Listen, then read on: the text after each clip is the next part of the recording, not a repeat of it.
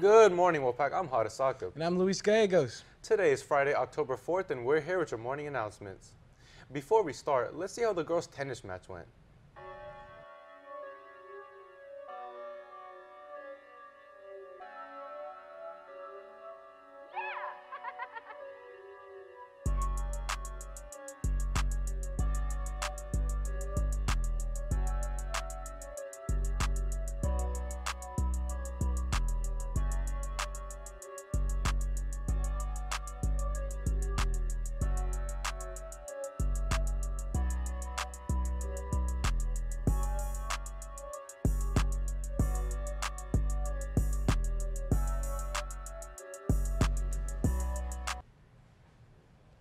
If you want to try out for boys soccer or are a returner there, there is a meeting on Tuesday, October 8th, right after school. We will be meeting in HG5, Mr. Billings' room. Please be prompt. A championship season is upon us. Go Wolfpack.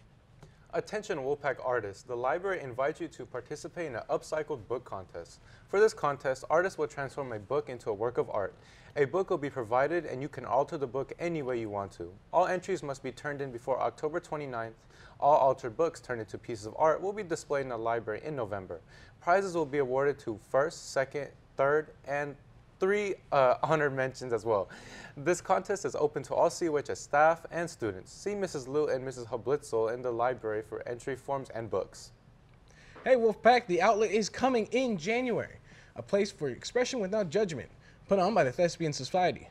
If you are interested in submitting a piece of writing for the outlet or are just curious to see what the what that would entail, we will be giving the opportunity to come to our writing workshops held every other Thursday in the theater room HE5 from 3:15 to 4. We want your voice to be heard.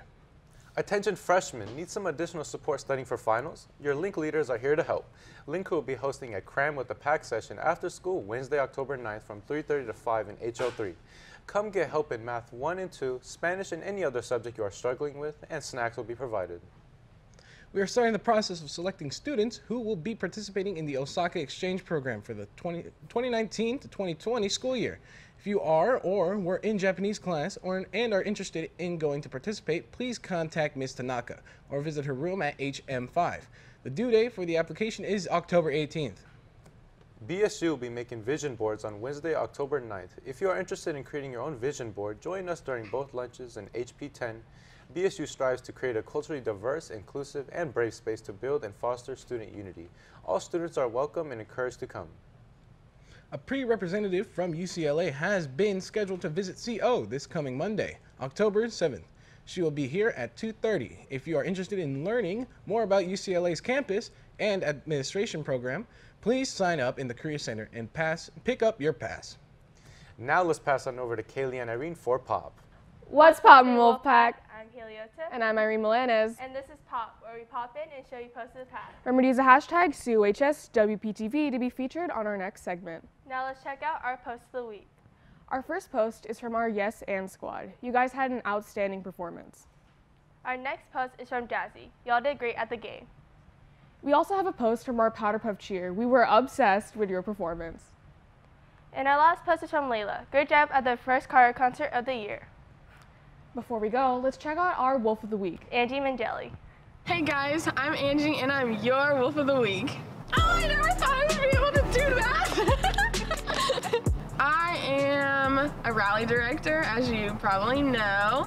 I'm in Link Crew, NHS, and I am co-editor in chief of this year's yearbook. So, buy your yearbooks.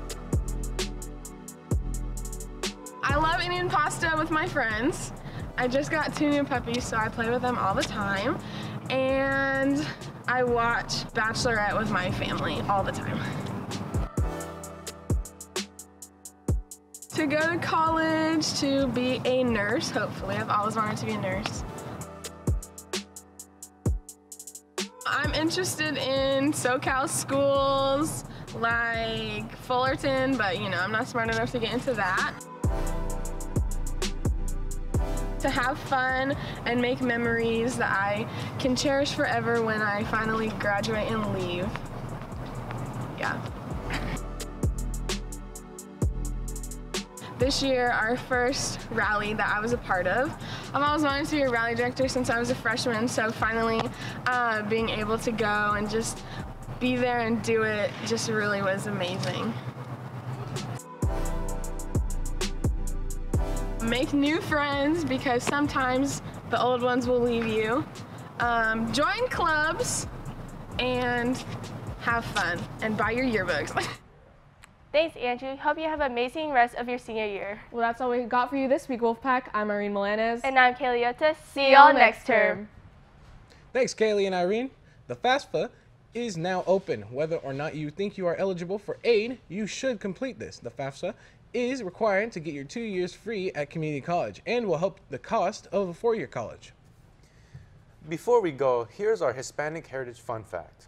Hi, I'm Olivia, and I'm going to be talking about Selena. Selena was known as Reina de Tex-Mex or the Queen of Tejano music. Her music was a fusion of traditional Tejano with cumbia. Although she famously sang in Spanish, at the debut of her career she did not speak the language. She was also a third generation Mexican American. She was famously known for helping Mexican Americans feel like they belong up until her death in 1995. However, her image still inspires many.